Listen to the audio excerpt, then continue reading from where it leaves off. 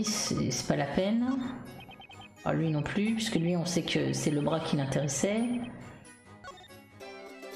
Lui, je, je vois pas le rapport. Qu'est-ce qu'il déconne? Qu'est-ce qu'il raconte? Là, vous dérangerait-il de traduire votre chanson pour le commun des mortels? Si tel est votre souhait, mon bon monsieur? Remarquez tout d'abord comment les mots amour et amoureux se font écho. Ah, c'est qui? Elle Non, c'est lui? Qu'est-ce qu'il a encore, lui? Passez vite Oscar, vous semblez perdu dans vos pensées. Euh... On peut dire que tu m'as pris, tu m'as pris au dépourvu. Y a quelque chose qui vous tracasse à propos de la déclaration de Monsieur Allegorio? Non, pas vraiment, juste... Euh... En dire... Je sais pas pourquoi, mais, mais sa chanson m'a beaucoup ému. M'envoyer ravi Eh, eh, Gilbert, une question pour toi. Et si tu devenais mon bar personnel, hein, tu pourrais compter les exploits d'Oscar Auguste Ier à travers la cité. Je pourrais chanter à votre gloire, mon bon monsieur. Ouais, t'as tout compris. Vas-y, chante pour moi, chante, chante.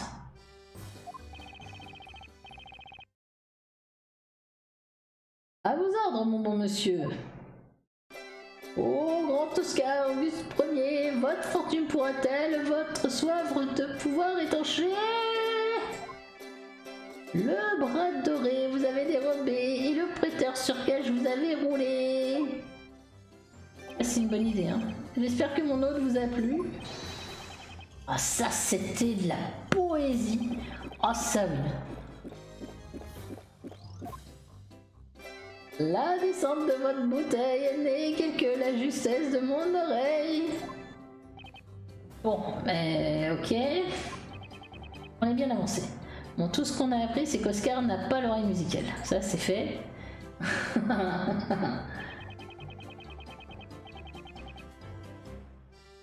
Parfois, il faut savoir ne pas creuser trop profond, monsieur l'apprenti avocat.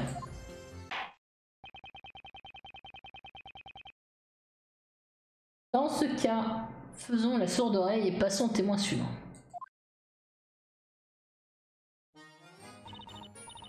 Peux l'attaquer, mais je sais pas trop. Un instant Vous n'avez rien dit de tel jusqu'à présent. Je n'ai vraiment pas eu le choix. Comment ça? Écoutez-moi bien. Sortez vos cahiers et crayons. Leçon numéro 4. Certains souvenirs ne mènent à rien de bon. Il faut mieux oublier certaines choses, sinon ce sont des soucis assurés. Sortez une feuille, interrogation écrite. Voulez-vous dire que la victime a chu et que son bras s'est sectionné après que le sceptre est tombé sur le sol Bonne réponse. Voici pour vous un bon point. Voilà qui règle donc le problème. Objection Qu'est-ce qu'il raconte? Et vous vous contredisez carrément là? Objection Vous avez la mémoire courte, monsieur l'apprenti avocat.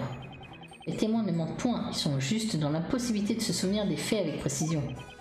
Et donc de notre devoir de discerner la vérité dans ce que nous dit mademoiselle Auster. Ah. Par où commencer Les témoignages sont tellement incohérents. Ah. Inquisiteur doit avoir raison, ils sont sûrement tous sous l'effet d'un sort.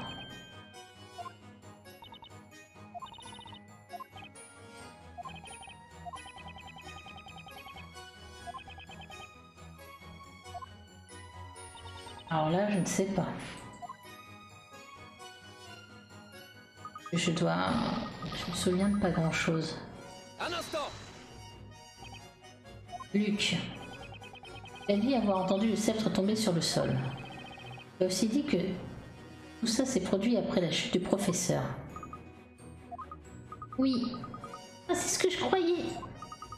Mais plus j'y pense, et moins je m'en souviens. Voulez-vous que je me souvienne de quoi que ce soit Le pauvre professeur était... Il était... Euh, je me souviens de rien. Luc était sous le choc et n'a pas prêté attention à ce qui se passait autour de lui. On dirait que je vais, je vais pas réussir à lui soutirer plus d'informations. Je suis vraiment désolé, Luc, je compatis vraiment. Passons au témoin suivant. Faut que je les attaque tous alors. Un instant De quoi voulez-vous parler? Du bras, de- du bras du gentleman doré qui se tient à côté de toi, Parny. Hmm. Là, vraiment, professeur Letton, plus apprécié maintenant qu'il est en or. Et vous n'avez pas remarqué le sceptre sur le sol? Ah, Tu sais, j'avais mieux à faire que de regarder le sol, hein Mes yeux n'arrivaient pas à quitter ma nouvelle source de richesse. À la limite, j'aurais jeté un œil au plafond à cause du doigt qui pointait, mais certainement, certainement pas au sol. Du coup, les foins dans la poche. Vraiment un cas désespéré ce type, hein. Ah mais lui, il me, il me fout, il me fout en l'air.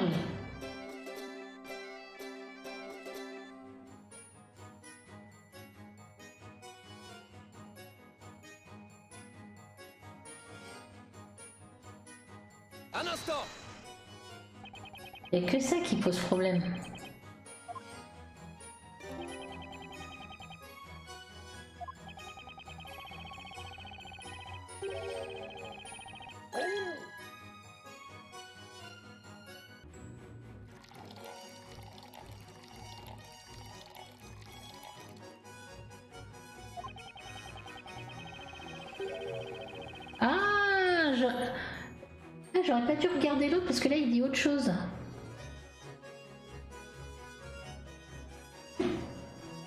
Bah attends.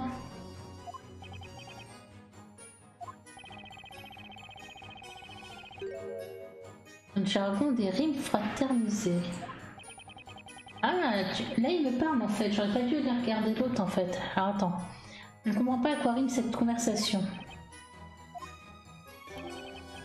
C'est tout, mes rimes ne contiennent pas de message caché, elle traduit simplement ce que je ressens.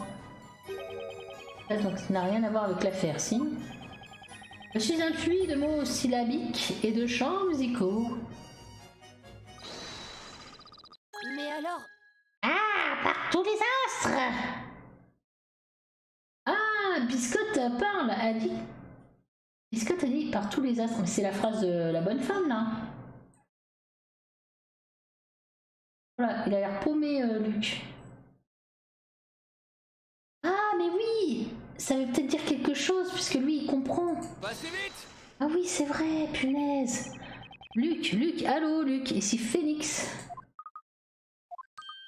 Oh, oh, pardon, j'étais perdu dans mes pensées. Qu'y a-t-il, monsieur Wright? Témoignage, euh, la chanson de monsieur Allegorio a l'air de t'avoir laissé perplexe. As-tu quelque chose à ajouter? Euh. Je pensais à ce qu'avait dit monsieur Garnet tout à l'heure?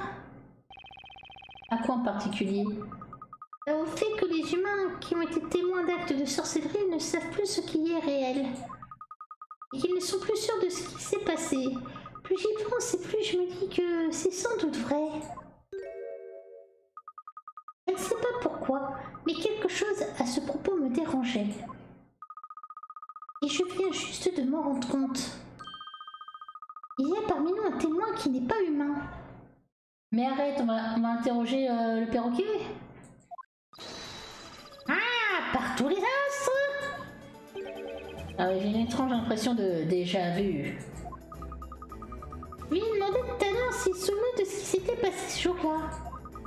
Et il m'a dit qu'il avait une mémoire d'éléphant et qu'il se rappelait toujours de tout. Mais oui, j'avais oublié. Luc est capable de parler aux animaux.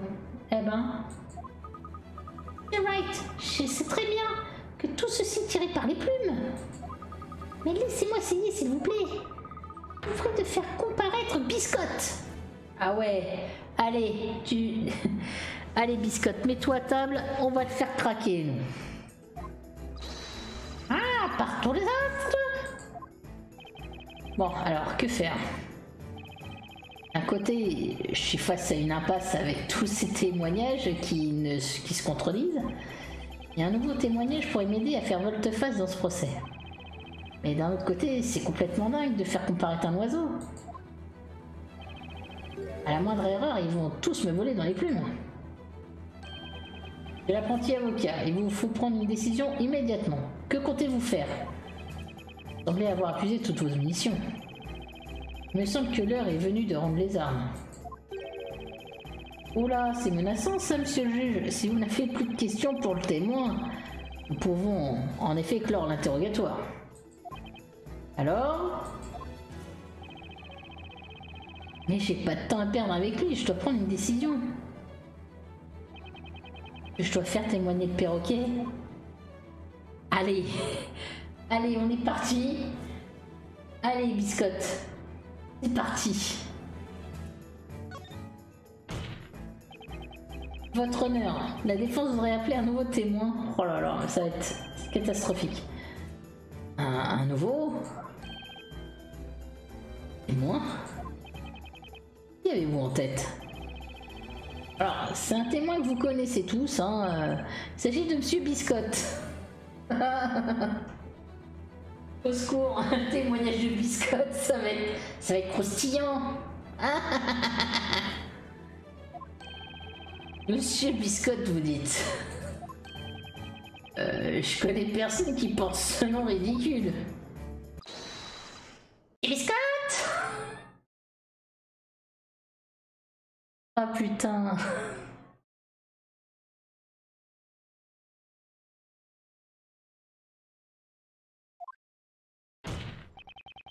La défense appelle son nouveau témoin, Monsieur Biscotte, le perroquet. Un, un perroquet comme témoin. Objection Ah bah tu m'étonnes. Ceci est un tribunal. Je vous prierai de ne point plaisanter en ces lieux. Objection Ce Biscotte a été témoin du crime. Il a vu et entendu tout ce qui s'est passé. Au secours. Il remplit donc toutes les conditions requises pour témoigner. Objection Non, non, non et non. Biscotte n'est qu'un animal de compagnie, rien d'autre. L'appeler monsieur ne va rien changer à ça. Objection Sorcellerie embrouille l'esprit des humains et ils deviennent incapables de se souvenir de la vérité. Ce sont vos propres mots, inquisiteur William Garnett. Objection Comment osez-vous m'appeler par mon prénom L'Inquisition rejette le témoin. Laissez-moi vous parler de mon fidèle Biscotte. Vous devriez savoir qu'il n'oublie jamais ce qu'il entend. Il n'oublie jamais ce qu'il entend, hein Écoutons ce que Biscotte a à nous dire. Voici le verdict de la Cour à ce sujet. Témoignages que nous avons entendus sur la définition même de l'incohérence. Le procès ne peut pas devenir plus brouillon qu'il ne l'est déjà. J'autorise la défense à invoquer son témoin. C'est quoi cette histoire? Non mais vous avez entendu l'apprenti avocat, il va convoquer un piaf à la barre Convoquer Mais vous voulez dire invoquer comme invoquer un familier quoi Bon, je dois me débattre, je dois me battre bec et ongles pour sauver Maya. Perroquet, familier, peu importe. Je suis prêt à tout. Et où là? Allez, biscotte, c'est à toi. Ah mais sérieux? Putain. Bien, euh, alors. Que les témoins. Objection Quoi J'ai même pas le temps de finir ma phrase. Alors, pas si vite, hein. J'ai deux mots à vous dire. Par où commencer? Euh... Peut-on m'expliquer pourquoi ce garçon a l'air fier comme un coq? Vous, vous voulez parler de moi? Ah, faites pas attention à moi, hein. je suis simplement le perchoir de biscotte. Je ne vois vraiment pas ce qu'un perroquet aurait à dire. Ils peuvent répéter ce qu'ils entendent, mais ne peuvent pas parler. Objection C'est justement parce qu'il ne peut pas parler qu'il nous dira la vérité. Comment?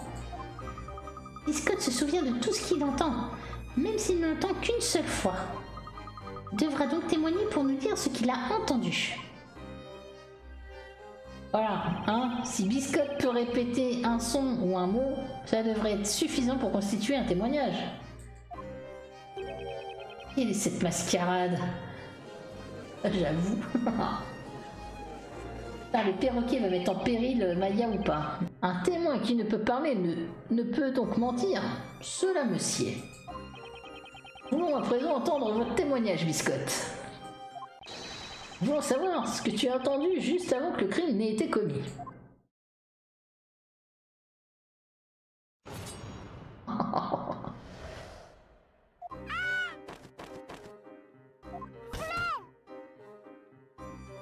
Par tous les astres Plong Portis Objection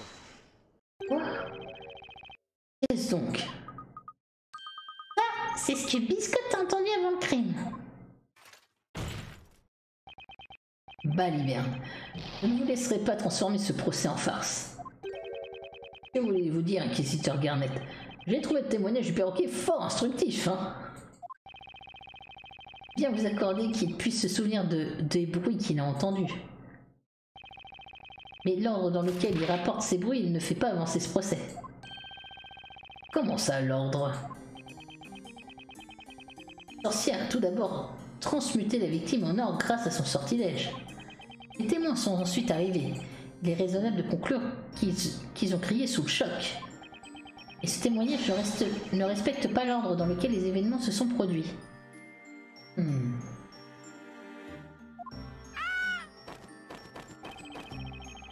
Il a commencé par un cri. Ensuite, il a reproduit le bruit de la porte qui s'ouvre brutalement. Par tous les astres Ça, c'est la, la fille là. Puis survient le cri d'un témoin.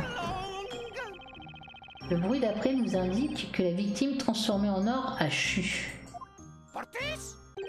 Et ça, par contre, je sais pas ce que c'est. C'est à partir de là que le bas blesse. Le témoignage du perroquet semble insinuer que la sorcière a utilisé son sort une fois les témoins présents. Ah Ah bah oui, Portis, pardon. C'est le sort. Ah ah Attends. C'est tout à fait impossible. À ce moment-là, la victime avait déjà été transformée en or. Ah Oh, en effet, vous avez raison, Inquisiteur Garnet. Perroquet était un très bon imitateur et son témoignage était très divertissant. Nous ne pouvons en aucun cas l'accepter dans- dans une cour de justice.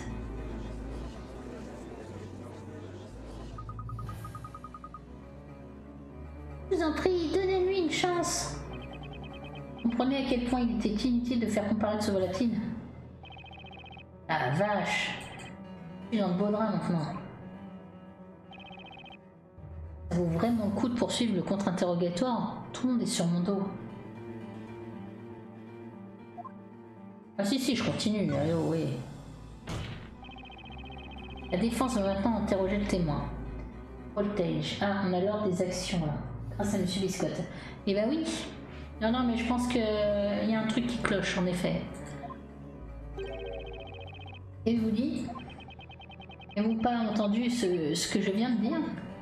Ah, Si, si, j'ai bien compris. hein. Un témoin dénué de parole ne peut pas mentir. Le témoignage de ce perroquet est forcément véridique. Il répète simplement les bruits qu'il a entendus. Il est très facile pour nous autres humains d'interpréter ça comme un témoignage non valide. Mais en tant que chevalier de l'ordre et de la justice, ne devrions-nous pas tenter de trouver la vérité derrière ce témoignage? La vérité, vous dites. Soit, monsieur l'apprenti avocat. Montrez-moi donc cette soi-disant vérité. Interrogez donc ce volatile. Je ne demande qu'à voir. Vous voulez vraiment le faire, monsieur White Qu'en penses-tu? À ton avis, est-ce que je devrais tenter le coup? Je... La défense peut interroger le témoin. On va l'interroger. Alors, vas-y. Et là, le cri ne me dérange pas. Flan J'aime bien comment il dit. Flan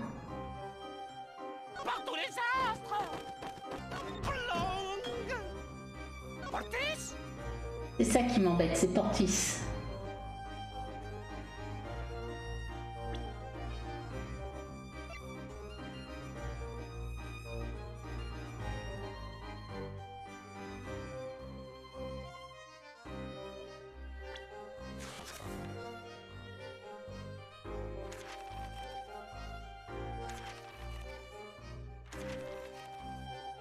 Ah, je l'ai pas?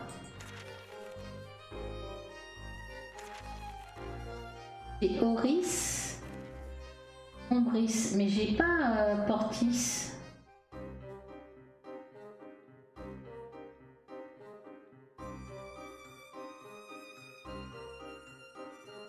Alors, est-ce que c'est pas Oris qui l'aurait entendu? C'est pas ça qu'il a plutôt. Ici, peut-être j'ai le guide des sorts, mais j'ai pas Portis, j'ai Oris. C'est soit Oris, soit Ombris. J'essaye celui-là, sinon ça voudra dire que c'est l'autre. Objection Il y a une contradiction flagrante dans ce témoignage. Nous sommes tous au courant, merci. Contradiction, c'est un avocat qui interroge un perroquet. c'est pas où je vais en venir, inquisiteur Garnet. Je viens de vous le dire. Nous avons tous mal interprété les propos du perroquet. Comment ça Luc, peux-tu demander à Biscotte de répéter l'incantation à nouveau Oui, bien sûr Ah, ils sont en train de parler ensemble. Portis, Portis Oh. Portis. Le grimoire, le sortilège de transmutation en or se nomme Oris. Ah oui, il me semble cependant que nous venons d'entendre un sortilège tout à fait différent sortir du bec de ce perroquet. Un nom d'un petit marteau.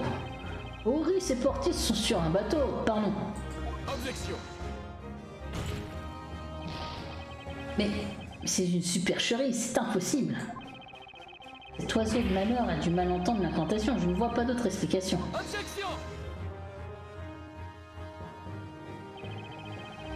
Biscotte reproduit les bruits et les sons à la perfection. Effectivement, il y a bien quelqu'un qui n'a pas bien entendu l'incantation, mais il s'agit des témoins et non du perroquet. Objection La victime a été transmutée en or. Ceci est la preuve que le sortilège Oris a été utilisé. Objection N'oubliez pas ce que. N'oubliez pas que Biscotte a entendu l'incantation après cet événement. Ah oui, alors attends. Il a été. Oui, Blanc, il a été changé en or. Et ensuite, il y a eu un autre sort. Mais c'est quoi ce sort alors? Il est donc plausible qu'il ait entendu l'incantation Portis. Ce jour-là, un deuxième sort a donc été lancé. Un deuxième sortilège Maintenant, il nous faut répondre à la question suivante. Et donc l'effet du sortilège Portis. Objection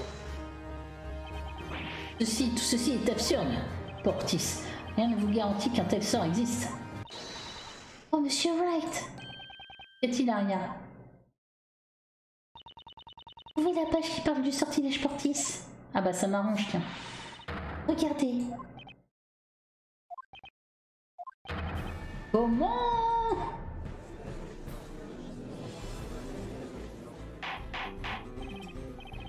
Silence, silence J'exige le silence. J'en étais sûr, Biscotte a raison. Et donc la nature de ce sortilège? Voici, voici ce, qui, ce que dit le grimoire.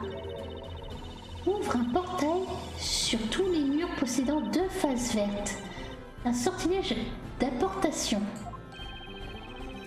Ouvre un portail Tous les murs possédant deux faces vertes Hmm, sortilège d'apport- d'apportation.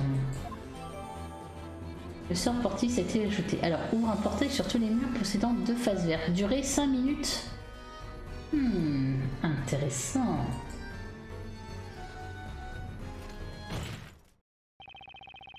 La chance vous sourit, on dirait. Même le grimoire Stadiao. Il y a toutefois une contradiction fatale dans votre théorie. Comment ça? Vous parlez, inquisiteur Garnet Une simplicité enfantine. Remémorez-vous l'état de, de l'officine de l'alchimiste lors de l'incident?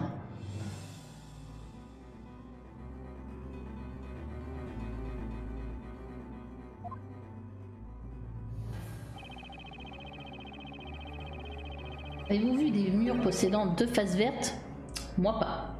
Ah, moi si. Les murs étaient recouverts de plâtre blanc.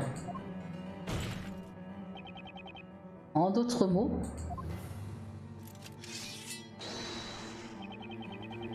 il était impossible d'utiliser Portis dans cette pièce.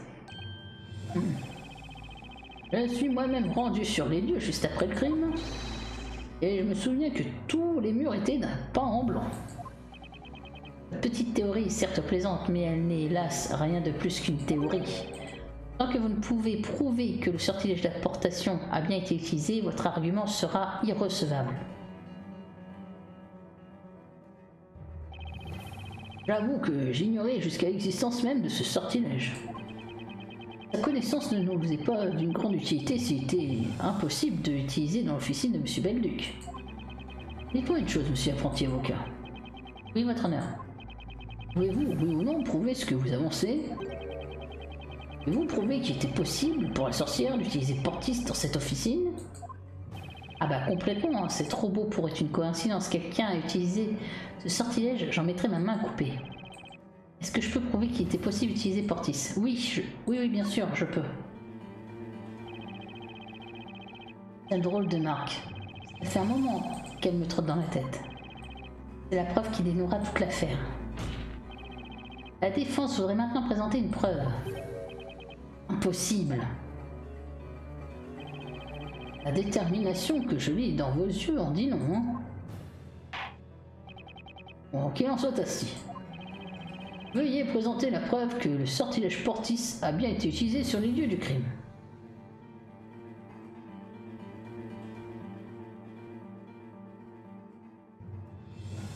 Ah, alors.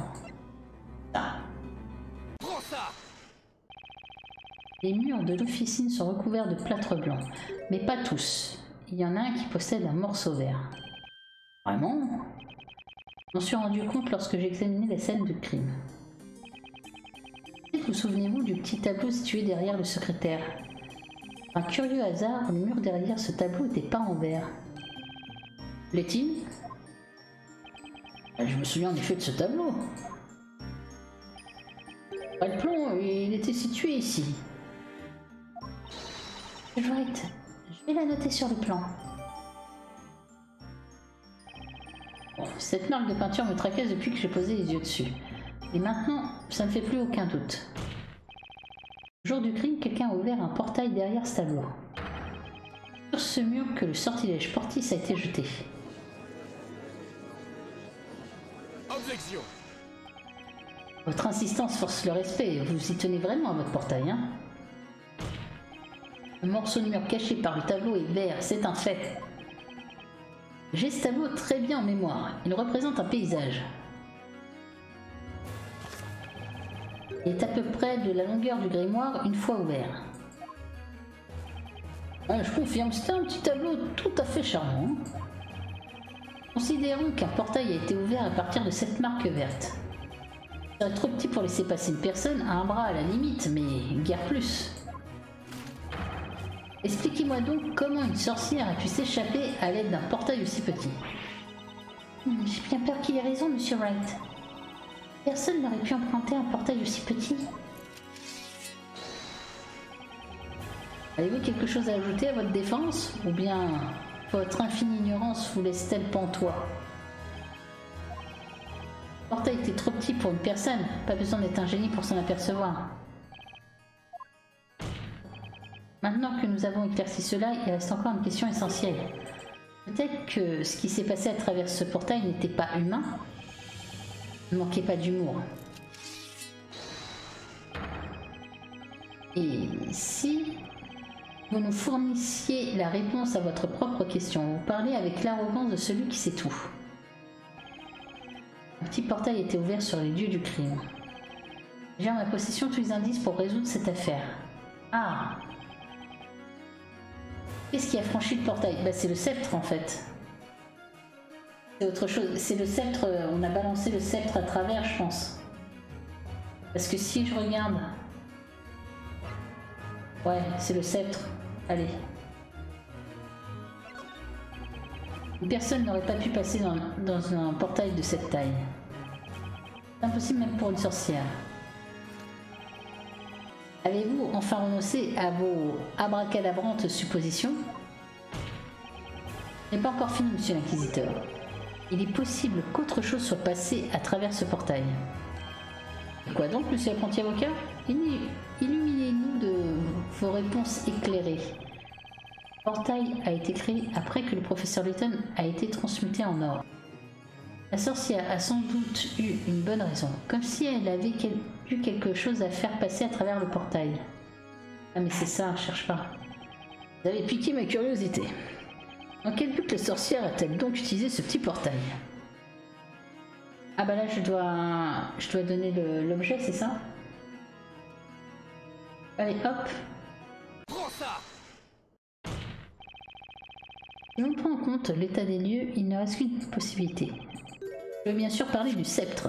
Objection Quoi Et vous dit Le sceptre a été trouvé sur les lieux du crime. Il n'y a, n'a rien à voir avec le portail. Objection Inquisiteur Garnett, vous avez pris ce problème dans le mauvais sens. Pardon La sorcière n'essayait pas de faire disparaître un objet des lieux du crime. Au contraire, elle y a introduit quelque chose. Et je vous le donne en mille et mille, je parle bien sûr de ce sceptre. Objection Oui, vos théories saugrenues, vous me surprendrez toujours. Est-ce que vous vous rendez compte de ce que vous dites? Si elle a lancé le sceptre dans la pièce, cela voudrait dire que... Eh oui. Elle a fait ça pour nous tromper et nous faire tirer des mauvaises conclusions. Lors de l'incident, la sorcière n'était pas présente dans la pièce. Elle a lancé le sortilège depuis l'extérieur. Comment?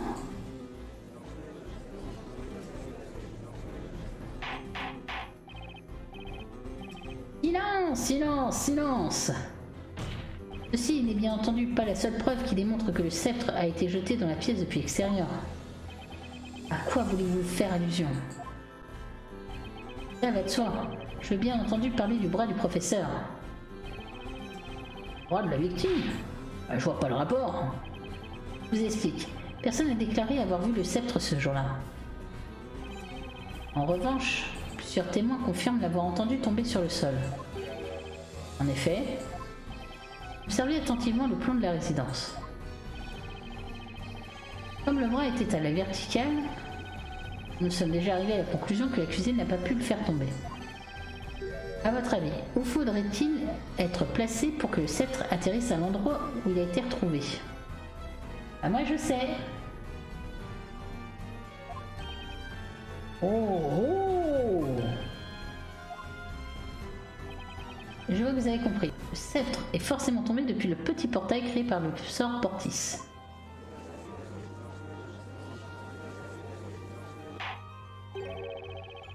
Quelle surprise La sorcière n'était donc pas dans la pièce quand le crime a eu lieu. Du moins, c'est ce qu'affirme la défense. C'est la seule réponse logique qui explique toutes les contradictions auxquelles nous avons fait face jusqu'à présent. Objection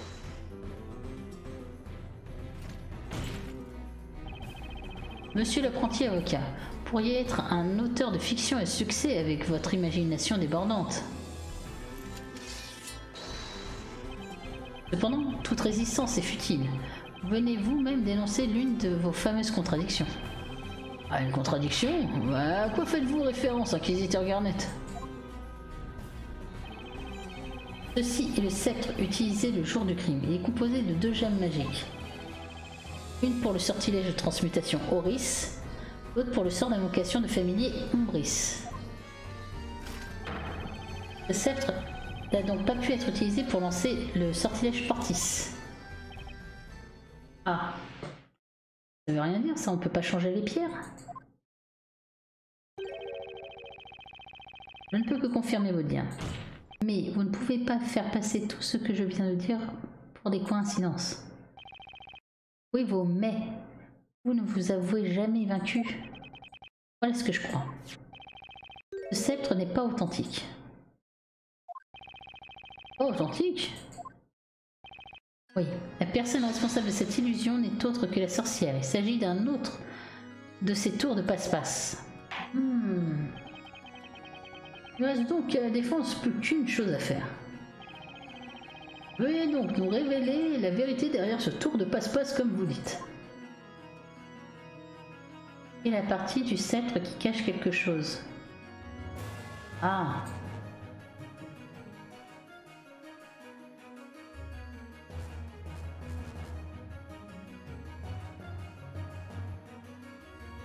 Pense que c'est la pierre, elle a été changée.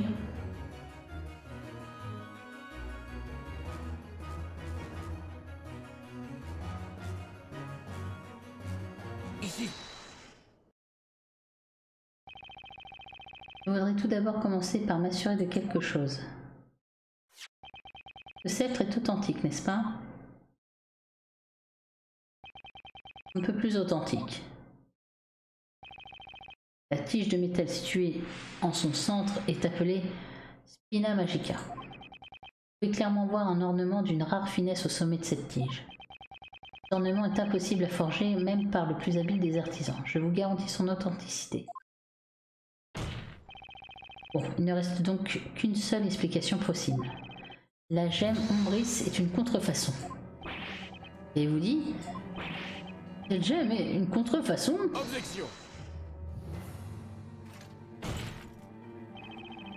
Comment osez-vous insulter nos analystes de la sorte Objection. Seules les sorcières sont capables d'utiliser le pouvoir des gemmes magiques. Dans ce cas, comment pourriez-vous savoir si une gemme est authentique ou non Objection. N'allez pas si vite en besogne. Nous sommes sûrs que le sortilège Horis a été utilisé. Il ne peut donc s'agir d'une contrefaçon.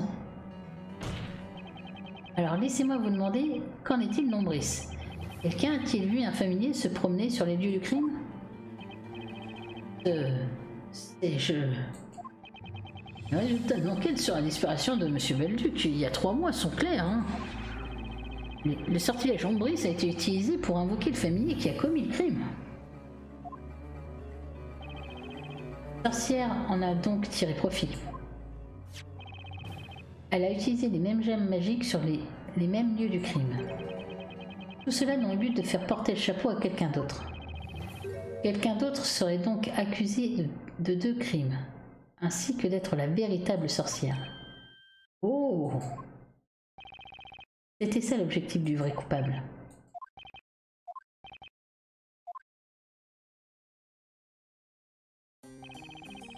Ah, je sais qu'il existe une méthode pour vérifier l'authenticité d'une gemme magique. Je l'ai lu dans un chapitre d'un ouvrage intitulé Chronique magique. Comment doit-on procéder? Ah, C'est très simple. Une gemme magique authentique est un minéral d'une densité inférieure à celle de l'eau. Il suffit donc simplement de vérifier si la gemme magique flotte sur l'eau. Ça a l'air d'une simplicité enfantine en effet. Tous les minéraux non magiques de notre monde coulent dans l'eau, à l'exception de quelques-uns, dont la sépiolite. En revanche, ces gemmes magiques, à la lueur étrange, ne coulent jamais. Huissier, veuillez examiner cette gemme magique prestement. Cette gemme serait une contrefaçon Ouais, une contrefaçon, et puis quoi encore? Ah, ce procès est une authentique farce Ne pleure pas, mon chéri. Ça va aller, Monsieur Garnet est là pour nous protéger des méchantes sorcières.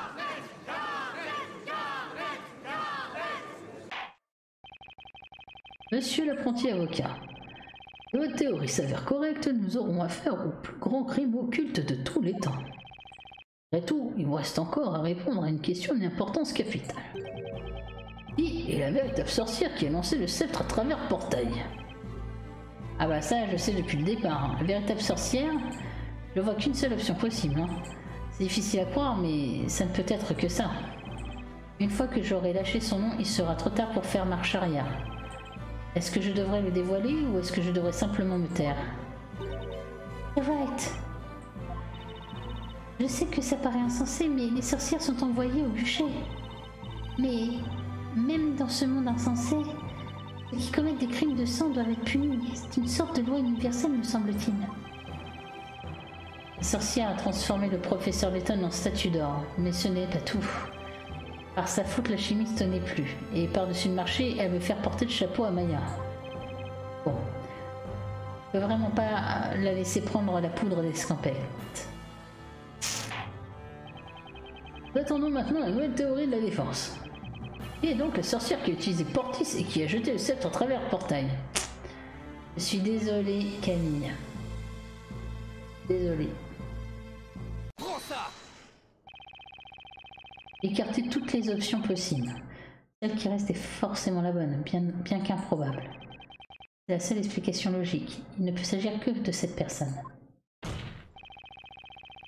La véritable sorcière est Camille Cervantes. Comment Cervantes Le nom me dit quelque chose. Ah oui, il s'agit bien du majordome de Monsieur Belluc, si je ne m'abuse.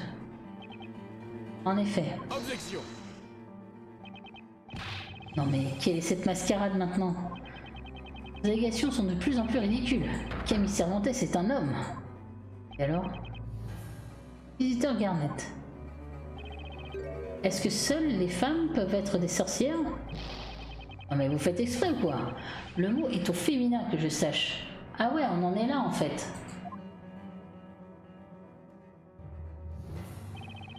Et depuis que ce tribunal est tribunal, jamais un homme n'a été accusé de sorcellerie, hein Ignorance et sans borne. Honte à vous. Je vous l'accorde, je suis sans doute très ignorant comparé à vous. J'ai dans ce cas une question pour vous. Est-ce que Camille Cervantes est vraiment un homme? Ah Et bon, pardon? Est-il? Encore une de vos questions euh, tarabiscotées La défense peut maintenant l'affirmer.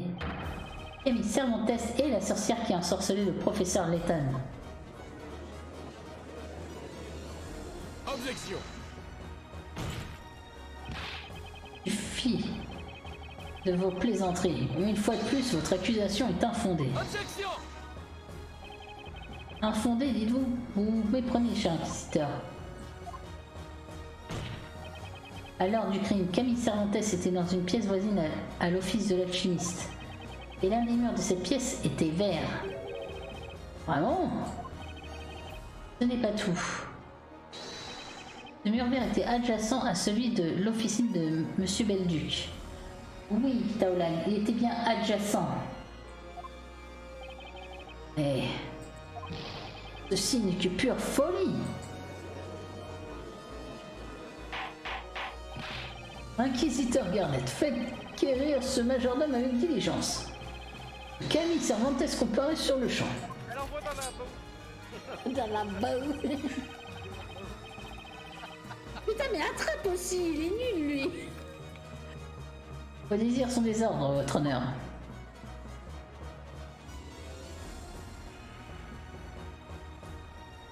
Cela sera inutile.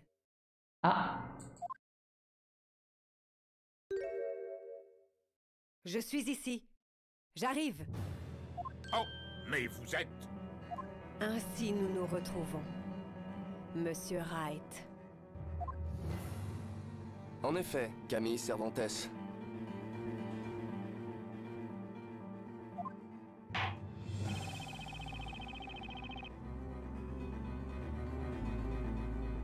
ce procès vient de prendre une toute autre tournure. Prenons tous une pause afin de nous remettre de nos émotions. L'Inquisition et la défense aiguisent leurs lames et leurs mots afin de s'affronter dans l'âpre bataille qui les attend. Oui, votre honneur? Vos désirs sont des ordres, votre honneur. Et si là, l'examen de la gemme magique devrait lui aussi être achevé. La séance est donc ajournée pendant 20 minutes.